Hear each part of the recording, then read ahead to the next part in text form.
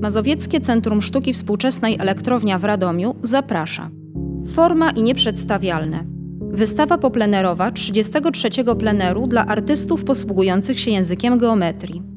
Wernisaż w piątek 6 maja o godzinie 15. Zobaczymy pracę między innymi Eugenii Gordczakowej, Józefa Linschingera, Wiesława Łuczaja i Anny Trochim. Szczegóły na www.elektrowniaart.pl